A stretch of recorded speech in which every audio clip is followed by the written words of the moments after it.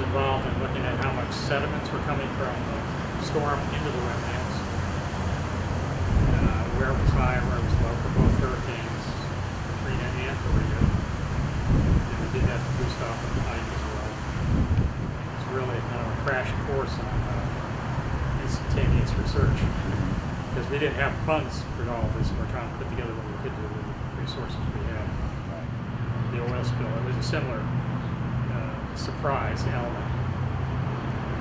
People hadn't really been working on oil spills, and certainly not this, this size. But once we got going, we were, we were looking at uh, how much oil was there, what was happening to it in the water, uh, the effects on animals,